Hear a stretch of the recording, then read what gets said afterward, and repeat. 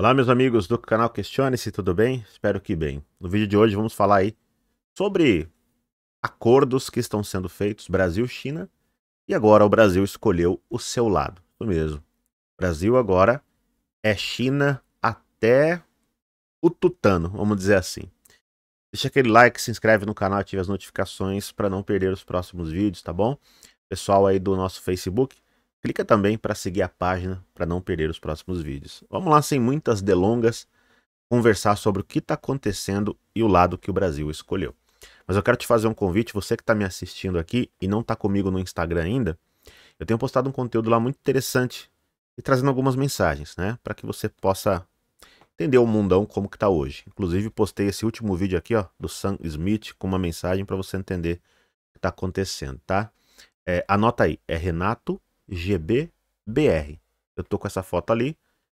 Só olhar aqui embaixo também, tá? Tem link na descrição também para você clicar aí direto. Veja lá. E você que ainda não viu, eu te convido a ver esse vídeo aqui que o Biden está de costas e me dizer o que é isso. Desafio lançado, vamos ver. Comenta lá. Já tem mais de mil comentários. Vai lá. Bom, o que está acontecendo? O mundo é, está numa grande disputa de quem é que vai coordenar é, o novo mundo, uma nova ordem. Né? Desde que eu sou criança, eu escuto falar sobre a nova ordem mundial. Você pegar a nota de dólar, você vê, por exemplo, que tem lá escrito né, o, o Novus Ordus Seclorum. Né? É, você vê também na nota de um dólar, se não estou enganado, né, a, a piramidezinha, você vê o olho, tem uma corujinha lá no canto. Então, sempre um simbolismo daquela nova ordem que sempre foi teorizada, que é essa que a gente sempre ouviu, que seria liderada por, pelos Estados Unidos e as pessoas que controlam ali, né, os Estados Unidos e o sistema financeiro mundial. Com o passar do tempo, surgiu aí forte Fórum Econômico Mundial. Em 2020, né, fizeram ali, é, né, proporam o grande reset, o que chamaram. O mundo está em curso disso, né, essa reinicialização. Só que para chegar até esta nova ordem, o que é preciso? Você precisa destruir o velho para construir o novo. O mundo está nessa destruição. Uma das coisas que está sendo destruída é o dólar, né? Tá chegando também o dólar digital, tem muita coisa envolvendo. Agora, não quer dizer que um plano é feito que vai dar tudo certo. Tem os seus problemas no caminho. Um dos grandes problemas agora que se levantou é a própria China. Mas se você fizer algumas avaliações, você vê que talvez tudo faça parte de um todo maior e que seja também grandes teatros. Então, o que cabe a nós? É avaliando cuidadosamente cada situação, cada passo, cada declaração, cada movimento das nações. Hoje, os Estados Unidos estão sendo deixados para trás. Palavras de Donald Trump: Nós estamos perdendo para a China. Em uma entrevista que ele deu recentemente. Tá certo, gente? Bom, e aí, ó, em oposição aos Estados Unidos, Lula critica o dólar e defende moeda única entre países do BRICS. Será que este é um modelo que vai vencer e que vai ser implantado no mundo a partir de agora, liderado pela China comunista? Bom, é o que eu venho falando, talvez a disputa vai ser no campo de batalha. O Brasil já escolheu o seu lado e é o lado da China. É isso que eu tenho para te dizer hoje. 15 acordos já foram assinados acordos oficiais, né? E sabemos que existem aqueles não oficiais entre os governos, e com certeza talvez sejam a maioria aí do que foram discutido ali, discutidos entre quatro paredes entre Lula e Xi Jinping. O, o encontro já aconteceu, né? E vão se encontrar mais lá. Então ele criticou o dólar. Foi notícia internacional e os americanos dizendo: estamos perdendo o Brasil agora. Perdemos o Brasil. E perderam o Brasil se aliou à China totalmente. Bom, é, você pode ver, até mesmo, eu vou usar aqui a grande mídia, né, o UOL, Xi Jinping está em alta ali, ó. Os presidentes do Brasil, Lula, e da China, Xi Jinping, se encontraram nesta sexta-feira na sede do Legislativo chinês. 15 acordos né, foram assinados e ele disse que ninguém vai proibir o elo com a China. Né, a declaração. Os dois governos assinaram uma relação de 15 acordos a projeção do Ministério da Fazenda é que os pactos totalizem cerca de 50 bilhões de reais em investimentos. A China não investe à toa. Ela investe buscando um grande retorno para eles, seja político, né, poder, é, e também financeiro, de exploração de muitas coisas, né? Inclusive, teve um acordo aí envolvendo o agronegócio, foi assinado. A China busca o agro brasileiro muito. Eles dependem muito do Brasil para ter o mínimo de segurança alimentar, para alimentar seu mais de um bilhão de habitantes. Né? Então, o Brasil é crucial para isso. E nesses acordos, que nós ainda precisamos pegar os detalhes deles, né? que teve também o do agro, pode ter muita coisa aí que vai trazer muita vantagem para eles. Né? Não é só, ah, para o Brasil, não.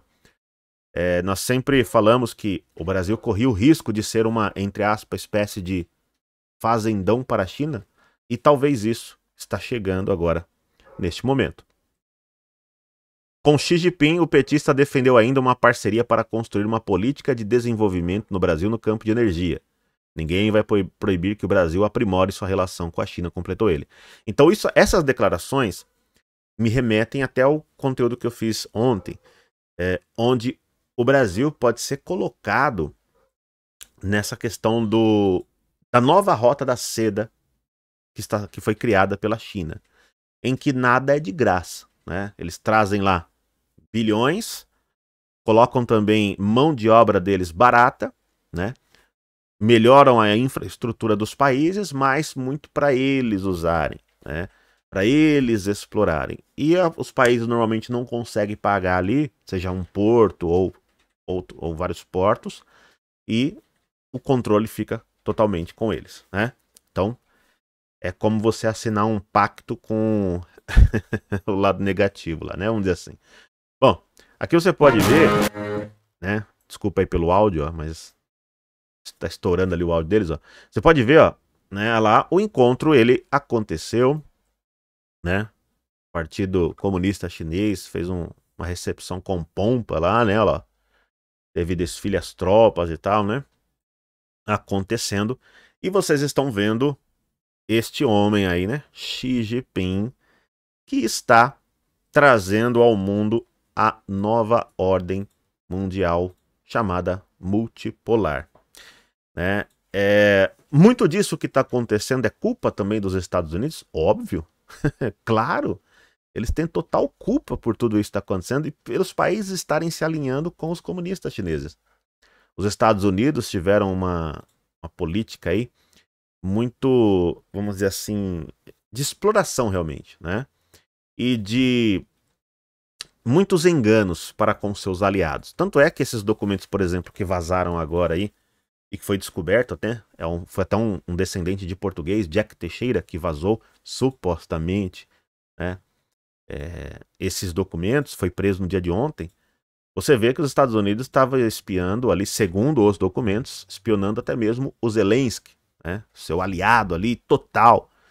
Várias, né, vários aliados sendo espionados ali, foi revelado. Então, você vê que tudo isso né, foi é, é um peso. E você está vendo agora os países que eles chamavam de terceiro segundo mundo, falando, ó, estamos junto com a China. E se debandando e falando, precisamos parar de usar o dólar. E o BRICS vai utilizar o quê? Uma moeda única, que é o que eles estão buscando. Deixando o dólar de lado. Brasil e China fazem acordos sobre comércio, tecnologia, agro e até mesmo em torno da EBC. Então, a empresa brasileira de comunicação, né, TV Brasil lá, vai trazer aí muito conteúdo também chinês para o Brasil de mídia, né? Então, vocês verão também uma grande propaganda dentro do Brasil sobre a China e esse novo mundo, tá? Então, o setor de comunicação não ficou de fora. Ó, é, foram 15 acordos com a China. O que mais aqui, ó? Os, entre os acordos anunciados estão relacionados ao setor do agronegócio. Aqui é preocupante. O que, que foi assinado? A discussão ao lado do primeiro-ministro da China, Lula é, falou que quer expandir acordos em área como ciência e tecnologia, desenvolver a indústria espacial, com o país asiático também. Né? Então, total alinhamento. Brasil escolheu o seu lado. Essa é a realidade. Né? É, o Leandro Rush até falou né, que agora ficou clara a viagem de Lula a Washington foi apenas uma cortina de fumaça quando ele encontrou o Biden para é, obscurecer o seu verdadeiro propósito, alinhamento completo à ditadura chinesa comunista. O Partido Democrata americano, hoje profundamente anti-americano, ajudou Lula na manobra, segundo o Leandro Rush, a opinião dele aqui. Aqui eu quero que você veja um vídeo que o tradutor de direita traduziu e colocou lá no, no Twitter, as palavras de Donald Trump. Iran gets together with Saudi Arabia through China.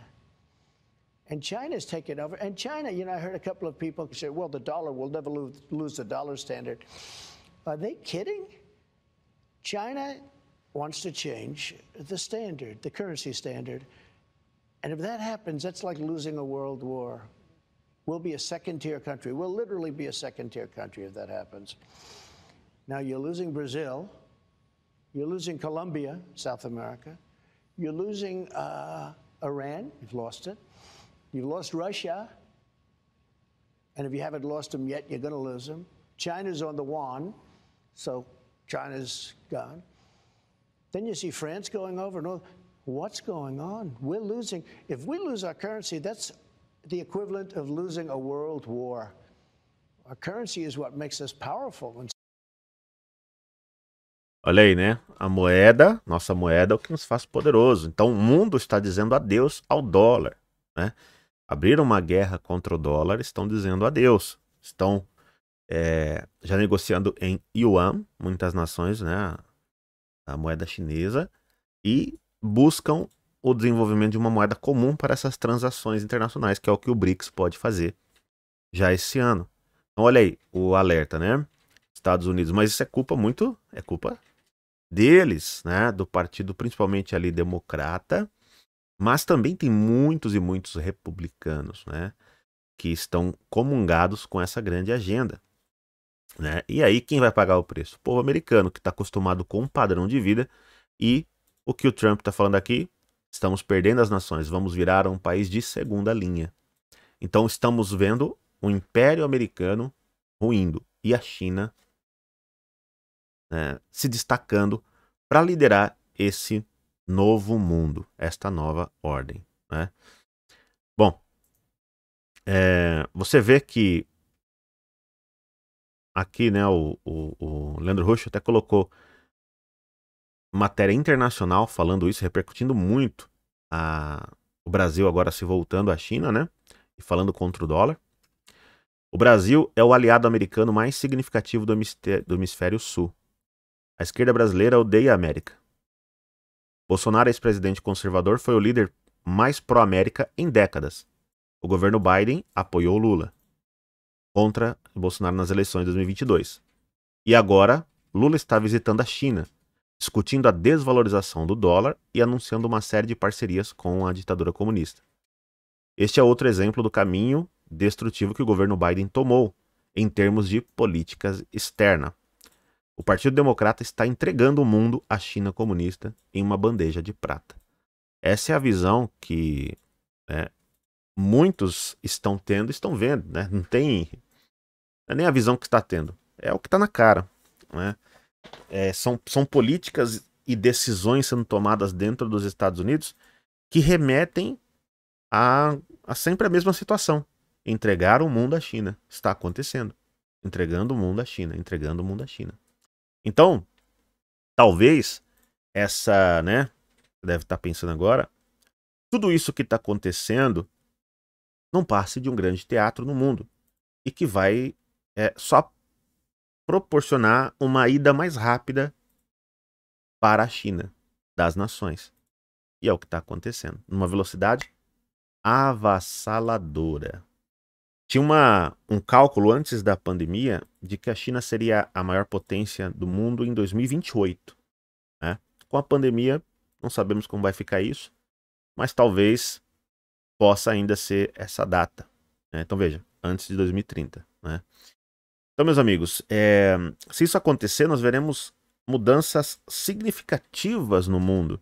Veja, os Estados Unidos, como influenciou o mundo até hoje, né? E antigamente era com muita liberdade, né? falava-se muito de democracia verdadeira, de tantas coisas que né, eles é, colocavam no mundo. Hoje é toda uma agenda, né? Dispensa comentários que está influenciando o Ocidente e destruindo o Ocidente. Essa é a verdade. Então, com a China tomando esse protagonismo, são eles que vão exportar o que eles têm, o que eles acreditam para o mundo. Então, melhor se preparar. O dragão se levantou. Tá certo? Deixa a sua opinião. Se inscreve aí no canal, ative as notificações para não perder os próximos vídeos, tá bom? No Facebook, pessoal, peço a você aí que clique para seguir a página, tá bom? Para também não perder os próximos vídeos no Face. E ó, eu te espero agora aqui, ó, no Instagram. Anota aqui, ó, RenatoGBBR.